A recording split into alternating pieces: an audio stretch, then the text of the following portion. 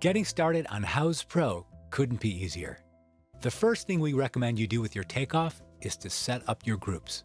You'll be able to get the sum total of materials throughout the project. The rectangle tool will give you the area of any space. Simply click, drag, and drop. The polygon will also give you the area. Click to start, click to drop a marker, and change direction. Double click to finish the measurement, and you have the area of a non-symmetrical shape. The length tool will give you the linear footage. It works the same as the polygon. Click to start, click to drop a marker and change direction. When you double click, it will give you the linear feet.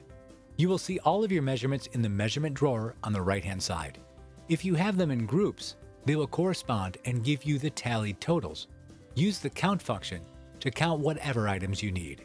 Give it a marker to represent it on the canvas and simply click anywhere on the canvas to drop that marker. The count will be represented in the measurement drawer.